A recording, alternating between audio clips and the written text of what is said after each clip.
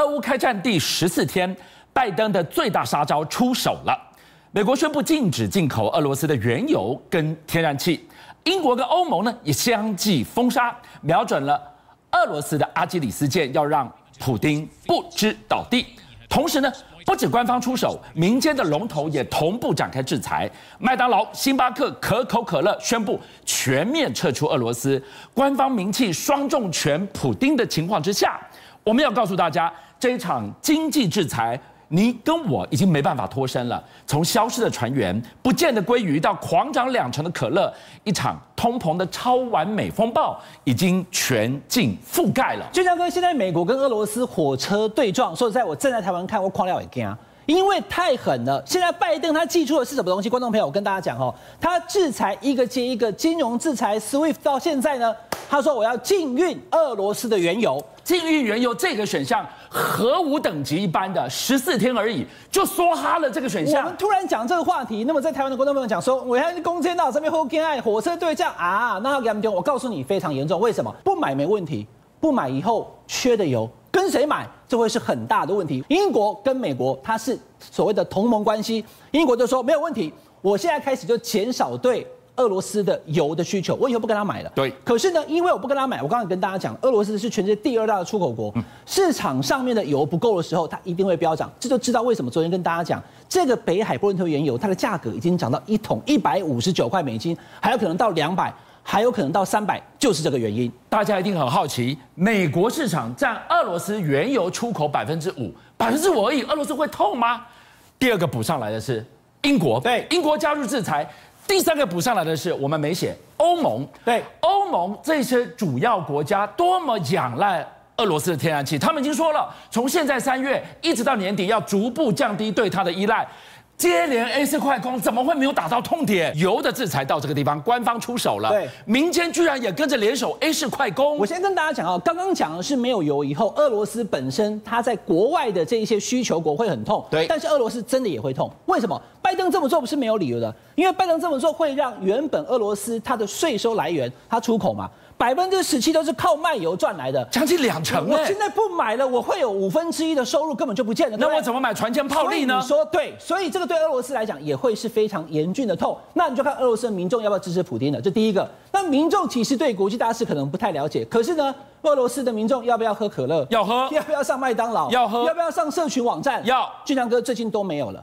不让你喝可乐，不让你吃薯条，不让你上社群网站去，通通封锁，要让你的民众感觉到苦。星巴克、麦当劳、百事可乐、可口可乐，通通配合拜登总统的策略，我们退出俄罗斯，所有在俄罗斯的这一些麦当劳店都关门，我们不卖了。所以呢，民众对俄罗斯来讲的话，第一个，因为我没有办法卖油，我接下来可能会越来越穷，因为我不能够喝到这些东西跟西方世界接轨，我的生活变得贫乏，我会越来越苦。又穷又苦，这是俄罗斯在这次跟美国火车对撞所必须付出的代价。我实在不愿意这么形容，但是媒体居然说，再这样下去的话，俄罗斯曾经这样的一个大国家，它会变成地表的孤军，它会变成地表的孤儿，它会变成了金融的贱民。对，如果到了那一天的话，不用等到那一天，普京孰可忍孰不可忍，他居然已经告诉大家，等着看。四十八小时之后，他的报复措施就要让全世界看到。我举一个大家一定听得懂，但是不是太恰当的例子，就是两个人在吵架，结果呢骂了半天以后，我突然拿出一把刀以后插自己的大腿给你看，你怕了没有？现在俄罗斯也是一样的状况，你今天不买我的石油，对不对？没关系，我不但不怕你不买我的石油，我甚至把你需要的石油是能源、粮食需要肥料。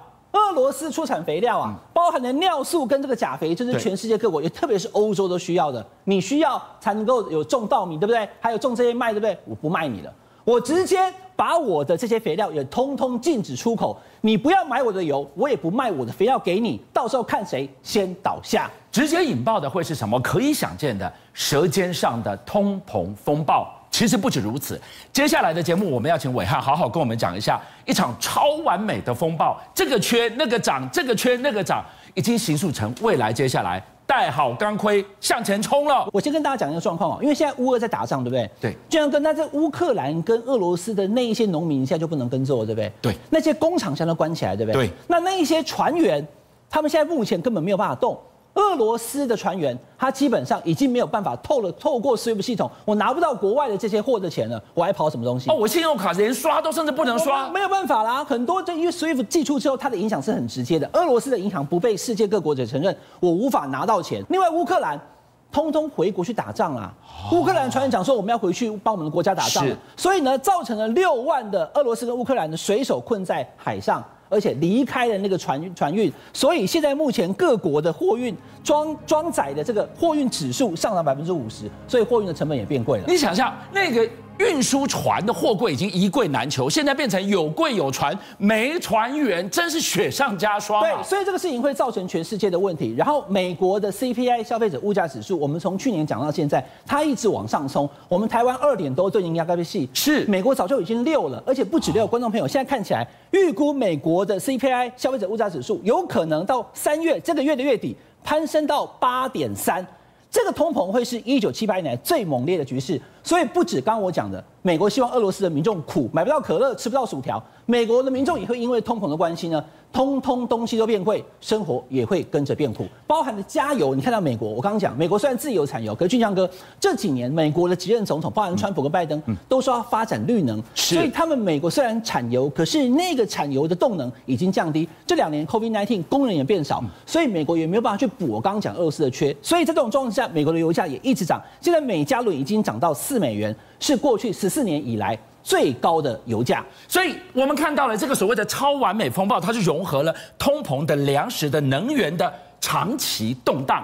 今天我们看到了，如果你要开启油的能源的战争，高油价时代你我都躲不过，这是第一个风暴。第二个风暴，我们看到了海运断裂的危机，有船有柜却没船员。对，你说海运我绕不过，我走空运总可以吧？空运就是这个问题的，因为现在乌克兰跟俄罗斯打起来以后。欧盟的各国也都对俄罗斯寄出制裁。刚刚我们讲了，你不买俄罗斯的油，俄罗斯讲说我还不卖你肥料嘞，粮食也没了。接下来呢，你知道多少在这个亚洲地区的飞机飞去欧洲必须跨过俄罗斯的领空吗？如果他不让你飞了以后，或者是他没有不让你飞，可是你怕飞进去以后可能被击落。通通绕道而行的话，增加的航运成本多了百分之三十到五十。我再推升了成本，再推升了物价时间也会增加，是，而且运输的成本的单价也会增加，这是全世界各国都要一起承担的成本。所以我们现在看到了整个所谓的超完美风暴的通膨全境蔓延。台湾躲得过吗？台湾在这个地方，我们虽然大家还在这里安居乐业，我们天天关注战场，没有想到一步一步，央行已经先打预防针了，我们根本躲不过。我先跟大家讲哈，我很在乎，因为刚讲美国到六这边，那是美国吗？台湾是多少呢？观众朋友，台湾其实从去年四月以后一直往上涨，是到了今年的二月，就是我们上个月的时候，终于降下一点到二点三六的消费者物价指数，这是好事啊。二以上危险，三就算通膨。可是俊强哥，这是二月。打上是二月二号才开始的，今天已经三月九号了。是，等到了三月、四月以后，会不会往上涨？会怎么样呢？其实我觉得没有办法，但是势必会造成的。我刚刚讲了粮食、金融、航运、海运，还有包含了这个相关的能源、油、天然气，它都涨了，状怎么可能不涨呢？别的不要讲，还不用等下个月看这个月的物价指数。我们现在刚刚讲可乐，台湾的哦，你跑到便利商店，很多人喜欢喝这个，一瓶六百沫的是。二十九块，二十九块，现在要涨，涨到三十五块，直接涨二十趴，哇，没有办法啦，罐小小一罐涨六块钱的，这是台湾的哈，而且这两天你去看到有那个连锁的寿司店，它里面小朋友很喜欢吃的这个鲑鱼寿司，暂时不提供，为什么也没有鲑鱼寿司了？现在因为空运航运的问题，短缺寿，短缺鲑鱼，所以没有这个鲑鱼寿司，暂时不卖给你了，直接台湾也受到冲击。这个风暴台湾真躲不过，最后我们就给大家看到央行担心。油价飙涨，结果呢？重点在这个地方。对，通膨要增加零点七个百分点，如果再加上去的话，不就破三了吗？对对对，就像跟你讲这个重点哦。所以我们的央行也很清楚，我刚刚讲了嘛，好不容易回到二点六、二点三六了，你加个零点七就是破三，破三。根据我们台湾的相关的经济指数来讲的话，就是 CPI 物价指数通超过三就是通膨。所以呢，下个月我们要特别注意。回过头来看，而且还有接下来，如果战争没有结束，可能状况还会更严重。一个更关键的原因，今天的这个超完美的通膨风暴推升它，还有一股力量太重要了。这个是大宗商品涨涨涨涨到疯狂的地步。刚刚讲粮食、讲能源、讲油、讲天然气、讲肥料，我跟大家讲，还有这些金属。因为乌克兰跟俄罗斯很重要的都是钢铁出口的地方，是现在打起来你就没有了嘛，对不对？然后特别跟大家讲的镍的部分，因为观众朋友镍很重要哈，你做车用电池，钢铁的工业维生素就是镍，还有半导体的关键材料都是镍。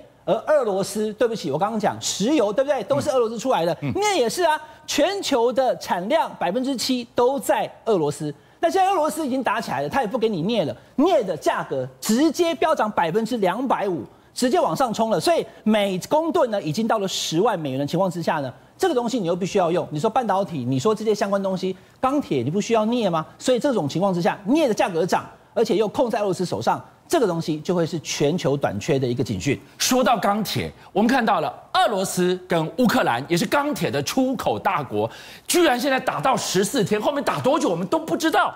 钢铁居然已经应应声飙涨了将近二十五 percent 了，所以这都是整个战争所引起的状况。刚刚讲那个呃俄罗斯跟乌克兰的水手，这个是一样的状况，因为现在乌克兰打起来，对不对？所以呢，在乌东的地方都是钢铁大厂，那我都已经打仗了，你还出口钢铁没有了嘛？是，所以就短缺。但是另外，因为制裁俄罗斯，俄罗斯的钢铁工厂它可没有停产啊。但是我虽然没有停产，我也不卖你了。俄罗斯的这个钢铁大亨、金属大王，他也说，既然你们制裁我俄罗斯，我也对你欧洲停止销售。就像我刚刚讲的，火车对撞 Chicken Game，我往前冲，你也往前冲，大家谁都不要怕。直接撞下去，看谁先倒下。邀请您一起加入五七报新闻会员，跟俊相一起挖真相。